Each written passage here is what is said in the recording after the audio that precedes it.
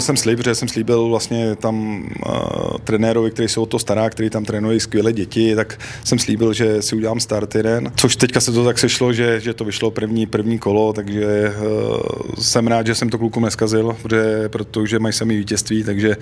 naskočil jsem až za druhého stavu a do druhého polečasu a kluci hráli skvěle, takže mě stačilo to jenom rozdávat uh, jim, jim do běhu a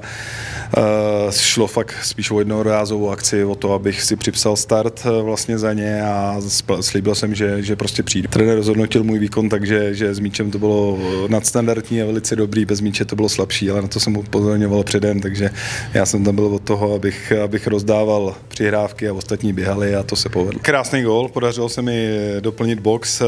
spoluhráči to hezky vykombinovali a dostal jsem vlastně ideální přihrávku mezi, do kapsy vlastně mezi obránce a brankáře a krásně jsem to